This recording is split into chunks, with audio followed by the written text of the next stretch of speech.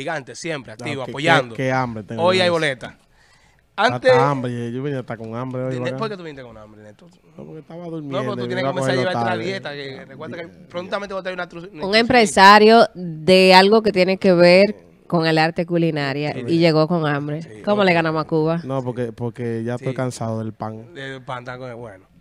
Eh, señores, Yo sé que la doctora hace su los medios de bajocito. comunicación han cambiado la forma de, en esta nueva generación, ha- han cambiado de la forma en Y sentido de esto, que- Renier Gil ahora. Sí, no, que están saliendo de los, los usuarios de nosotros. Ya Sí, tenemos pero- línea gráfica. Pero Renier no, no vive fuera del país ya. No, no. Se mudó. Renier, Y la despedida, pues no le hicimos nada. Renier. Yo no me enteré. Se tuvo que ir de De- Mesa a de Nueva nosotros. York. Bueno, ok. entonces, decía que los medios de comunicación han cambiado muchísimo. La forma de comunicar. Ayer explicaba que a los Foque Music, de Santiago Matías, y creó un emporio. Que está luciendo muy feo.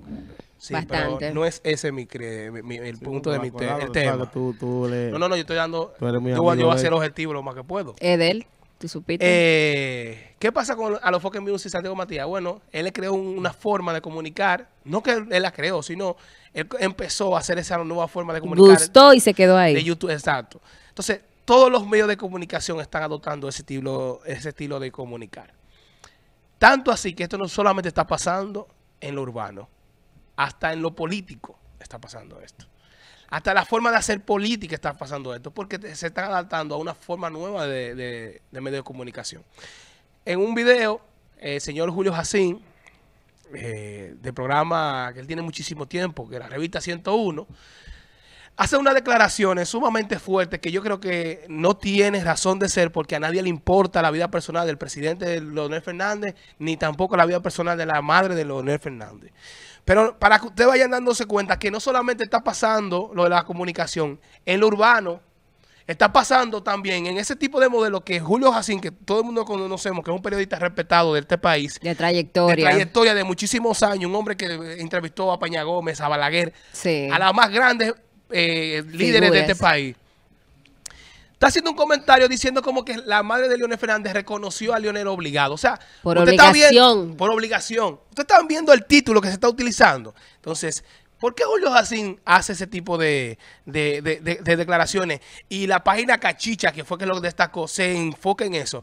Porque la ca- Cachicha y Julio Jacín están sintiendo la presión de algo que creó el mismo Santiago Matías. Eso que creó Santiago Matías, esa forma de comunicar, de que si nosotros no hacemos una entrevista, eh, que, que, dé- que se pondere, que, la gente hable, que todo el mundo esté comentando, la gente va a entender que si, es, que si un entrevistado o un programa de televisión no hace una noticia con unas declaraciones, no hace una noticia con lo que dice, no está conectando con la, no está conectando con la sociedad. Y es verdad. Es verdad. Jochi Santos tiene ya un mes que empezó en el programa y, y yo le pregunto a ustedes, ¿ustedes saben lo último que dijo Jochi Santos en el programa el martes, ayer?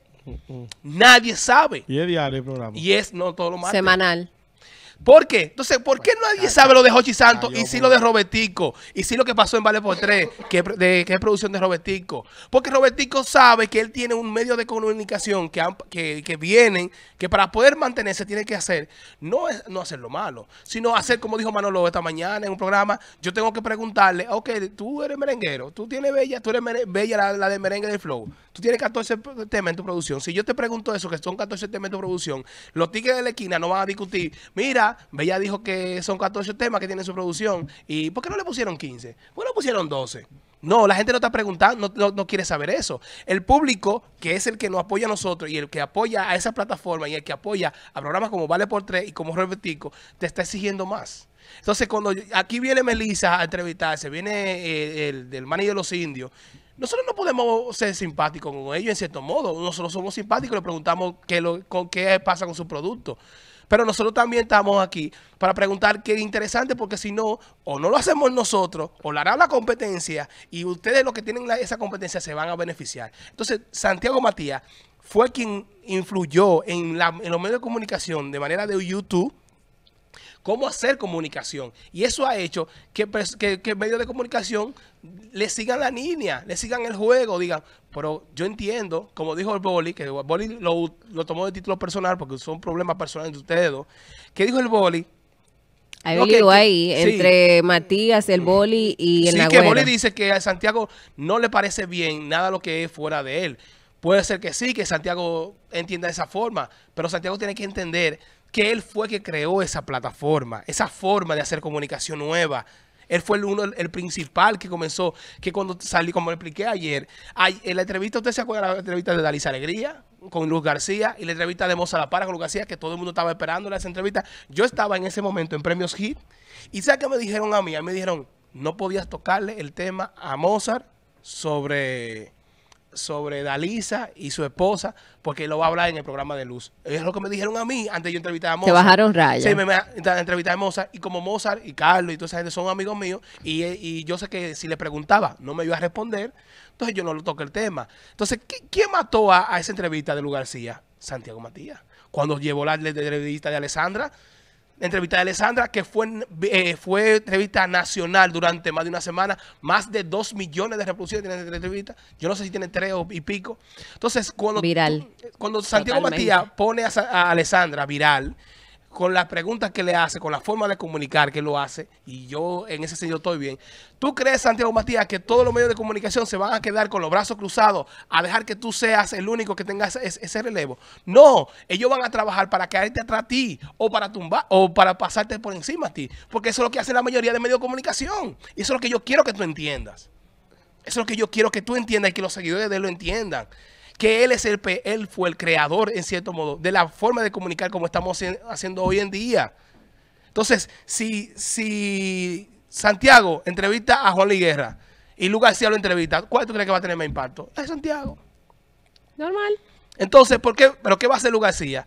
Tiene que buscarle algo para poder competir contigo, que lleva desventaja porque tú tienes una plataforma que está por encima de Lu García, a pesar que tú empezaste después de Lu García. Eso es un ejemplo, nada más decirte. Entonces, eso es lo que está pasando con Vale por Tres, eso es lo que está pasando con Más Roberto, eso es lo que está pasando con El Mañanero. Son plataformas que están trabajando, que hasta fueron asesoradas por ti mismo, para llevar el hilo de las cosas que están pegadas o no ahora mismo. Hochi Santos, durante el programa, todavía yo no he escuchado una noticia relevante del programa Hochi Santos. Nuevo. Por eso no está en Telemicro. Es lamentable eso. No, no, Jo- Jochi Santo un martes debió decir que no. No, no es no el mar, no, eso no tiene que ver El con el problema día. no es el No día. es el, no es el día, porque en Estados Unidos la mayoría- los mejores programas están en, en una Está vez a la bien, semana está bien, el día. bien. Óyeme, te voy a poner un ejemplo. Eh, te voy a poner un ejemplo. Jimmy Caller, y yo sabes sabe que eh, sabe de, de- de ese G- G- Jimmy Fallon y Jimmy Caller son son dos programas y el de Helen, el de Helen son tres los de los tres programas con tres programas con más rating en Estados Unidos y es Sí, una, una vez vez a a la semana. semana. y es en Pero un día mira, normal. Mira, todo el mundo tiene la monotonía de que Jochi Santos estaba los domingos. los No, pero se mo- supone. Pero, Sí, por dale, favor. dale. Oye, los domingos estaba en, después que pasó desde el 11, estaba en el otro canal. Entonces, a tú tenerlo en la mente y ser el programa que es, que no sale de, de lo mismo, ¿tú entiendes? Ponerlo un martes como desaparecerlo. No, es que ya no es divertido. no es que sea el ya no es Ok, está divertido. bien. No es que sea el día, es entendiste lo que tú... te dije. No, escúchame. Ya yo no no te es estoy hablando divertido, y la sentido de gente que no sea el día. eso. Mira lo que pasa, para que tú entiendas. Este programa a las La cuatro- forma por que están te voy- Te voy a poner un haciendo- ejemplo. están haciendo Este el programa a las Cambió 4 de la tarde. Gusta, no gusta. No, te voy a poner un ejemplo. Él cambió todo. Te voy a poner un ejemplo. Este es un programa a las 4 de la tarde. Hay personas que no nos pueden ver a nosotros. Muchas personas. Pero lo que nos más impacta a nosotros es el diferido del contenido. Lo que más impacta de nosotros, de los osobrosos, es el diferido porque usamos lo que sabemos usar aquí y lo ponemos en las redes. Entonces, lo que Hochi está haciendo no está conectando en las redes. Y si no conecta en las redes, la gente si- siente que no, se, no está. No, si Igual no que lo que pasó con no Dominica. Brutal en el- los miércoles. Y cada miércoles esa gente es una tendencia. Porque luego que sale esos videos, la gente es loca con ellos. O sea, no, no importa el día. Es a veces el contenido que tú le tienes que dar. Y lamentablemente hay que hacer un contenido que conecte con las redes, que a veces llama mucho la atención, que sea morboso.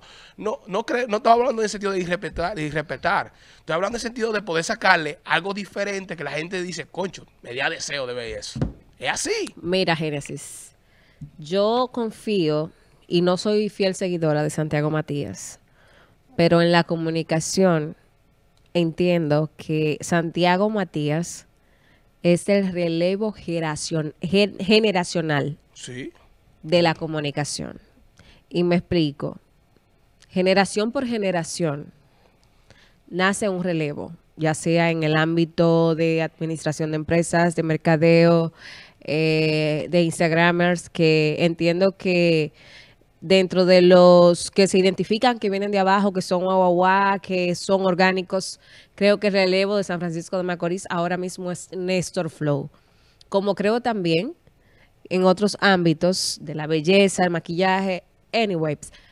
El relevo de la comunicación ahora mismo es Santiago Matías. ¿Por qué? Porque está haciendo comunicación que impacta. Algo nuevo. Es algo nuevo y aparte de está acorde a los nuevos tiempos. Porque ¿qué quiere la gente? La gente no quiere saber si Bellaniri tiene un esposo que se llama Abel Almonte, que tiene un hijo que se llama Derek. La gente quiere saber qué pasa en la vida de, de Abel Almonte, de Bellaniri con Derek algo que llame la atención. Entonces, dicho sea de paso, estamos siendo como muy sumisos en algunas ocasiones con lo que tiene que ver con la comunicación. Y fuera de eso, Santiago Matías se está atreviendo a hacer lo que otros no hacen y lo que el público quiere. No, y yo quiero, yo quiero decir algo, Santiago. Y tal vez nos vemos ahora en, pre- en, en Festival Hit. Yo creo que tú en vez de criticar a los muchachos, de eh, esa crítica que tú haces de los programas urbanos y que los programas urbanos... Eso es él, para tú, llamar tú tienes que, yo también. eh, yo también creo eso también. Pero yo creo que tú deberías sentirte orgulloso para mí. En vez de tú criticarlos, deberías sentirte bien. Porque gente como el Boli, como nosotros, como un reguero de programa, han sido influenciados por esa nueva forma de comunicar que fuiste tú el primero. Hay que ver si esto sea cierto El- el también, problema, Génesis, porque mire, ellos a veces hacen esos escucha. ¿Sabes? Yo lo que experimentos quiero sociales. que en vez de que en vez como yo estrategia. exacto, yo lo que quiero es que en vez de- él debería asumir ese liderazgo, como él dice como el lápiz. Él, él, él- él critica el lápiz. Él dice que el lápiz no apoya gente como el Alfa, como fulano, como la nueva generación. Él lo dice. Entonces, tú, porque el lápiz fue el primero y debía ser el líder. Mi- Entonces, mira, tú, deberes- tú eres el líder, en cierto modo, de la nueva generación. Compórtate como tal. Dale Oye. respeto como tal, en sentido de que están haciendo algo que fue influenciado. Generalmente, la mayoría de veces fue, fue influenciado por ti. Mira el problema de, de Santiago Matías. ¿Cuál está? Que él, él asume ese liderazgo de una manera como muy personal. Arrogante. Arrogante. Que le lo Si eso mucha él quería esa primicia para él. Eh, eh, cuestión de, de- del meloso y, y la cosa con Gracie Isai, la esposa, Sandra Berrocal. Él quería que eso sucediera en el programa de él, porque él está acostumbrado a que sea y las cosas no son así, porque todo productor está buscando esa manera. Vale por tres lo va a ver más gente ahora, No, y lo están viendo mucha gente. lo están viendo mucha gente, y vale por tres era uno de No. los programas más malos. No, Sí. no, oye, uno de los programas más malos, vale por y, y, tres. y tumban el pachá. y, Tumbaron. tu- y tumban y pachá. tú tumbaron. Lo que quiero dejar dicho con esto es que ser un líder no puede ser tan arrogante. Usted fue que implementó eso. Siéntase bien, comparta el Nagüero, comparte eh, a Manolo Zuna. No venga a criticarlo de que eh, el personal de, de- los radio shows de él, que no van a ser entrevistados por Roberto Ángel. ¿Pero y qué le hicieron esa gente a él? Dije que están maltratando a los urbanos, pero él lo maltrata también. O un ejemplo, Hackle, él no lo apoya. No, no, él, él- él ha ido, algo ha ido allá. Eh, ha ido. Ha ido al programa manera- de él. Oye, ya de una manera no lo apoya. Pero no es que no lo apoya, no, porque hace un él, eh, comentario. no, no, no, Jaco ha ido. Jaco ha ido y, lo, y lo han entrevistado en la van- enemigos de él. Pero que escúchame, Jaco ha ido a la plataforma de, de Santiago Matías y, a los focos lo ha apoyado. Pero no- Ahora, no, lo no, que no, pasa no. es que No Jaco no va, Jaco no es igual que Kiko. no, no, está ¿Sabes? bien. Jaco no es igual que Kiko, en sentido que no, a nadie le importa Jaco. oye, eh, escúchame, Ah, a no, nadie le no, importa Jaco. Oye, oye, Es que Meneman, nadie le importa Jaco. Cuando te menciono a Jaco, oye, cuando te menciono a Jaco, bien que no le importa a nadie a Jaco, pero Jaco es un artista que se pegó y ahora está subiendo de nuevo, está bien, no lo ha apoyado. Él no va a creer con noticias. Él no va a creer noticias. Oye, ¿por qué?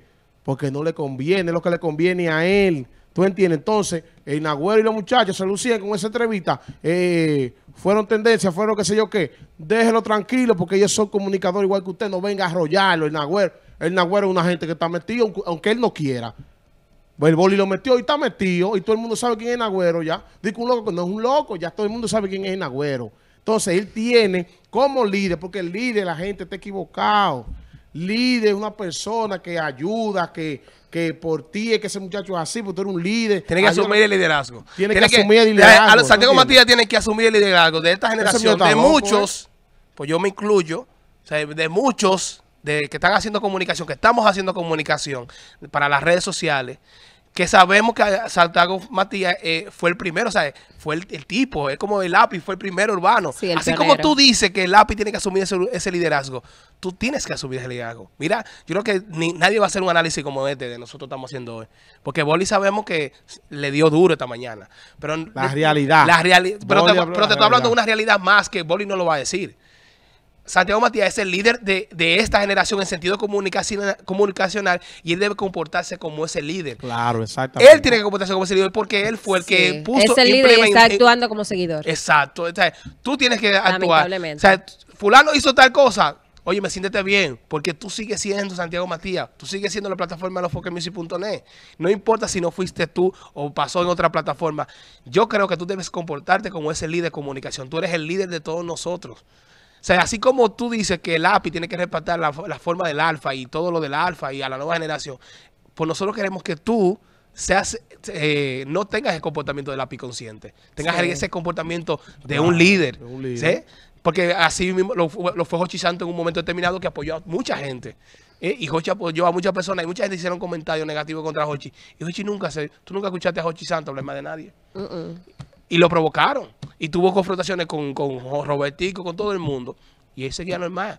Y se comportó en su momento igual que Freddy, cuando la, la altura. comedia. ¿eh? Igual que Raymond y Miguel lo han y hecho. de, de hacer un mal comportamiento no hubiese estado ni participado en alguna de esas películas que lo han convocado para hacer personajes no muy líder, significativos Y- y, y eso to- es el mira, y líder. Te estamos, óyeme, óyeme, te estamos haciendo una crítica, pero te estamos reconociendo. O sea, te estamos haciendo la crítica al mismo tiempo, te estamos reconociendo. Oye. Porque tú tienes que decir, bueno, eh, lo que pasó con yo, porque yo vi la entrevista de John Melo Meloso, es verdad, fue el tipo que se debocó. O sea, no Sí, fue que a él él no le preguntaron. preguntaron acerca a él de no le preguntaron. O sea, Para él se, desbocó. Entonces, No conectó la lengua con el cerebro. eso que pasó con John Melo Meloso eh, pudo pasar en el programa tuyo. Tú no lo destacas, tal vez tú no eres de tipo que lo podía, por ejemplo, lo de tonto, nadie lo destacó lo de tonto, pues hubiera sido un mundo RD que le gusta coger co- cortecitos de cosas, lo, lo pone viral, pero fue de tu programa. ¿Me entiendes? Yes. Bueno, Así es. En otro orden, señores, ya más pasivos, más tranquilos. Yes. fue el tema. Con las vacaciones que tú tienes, y digo yo. que- ¿Cuáles vacaciones? Pasivo. ¿Cuáles vacaciones? Para que cogiste. Yo no estoy de vacaciones. Yo pedí un permiso Sí, es verdad. y se me dio. Dios mío. Para que te enteres, como Vamos con. Bella de- Con Bella ahora, por favor. Blanco, ¿qué tú vas a hacer con, estas peleas? Tú tienes que traer no, cuatro No, ese ángulo y no lo va a hacer más nunca en su vida. Él sobresalió ahí ayer, pues. Dios mío, la gente está... me preguntaba, pero ¿hay camarógrafo nuevo? con ese ángulo, eso para...